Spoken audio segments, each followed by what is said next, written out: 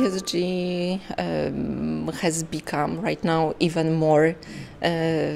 an even more important aspect from the lender's perspective. So, of course, in our uh, lending decisions, uh, we want to make sure that we lend to the right property. Uh, right property means, well, uh, the property itself, of course, the location, location, location as always.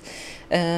and additionally, we, we need to make sure, we want to make sure that the property is sustainable Uh, investment so that this will remain an interesting, attract, attractive uh, investment product also in future,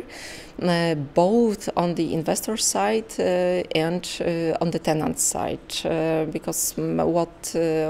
what has become also very clear in the last months is that lots of tenants under their company strategies they also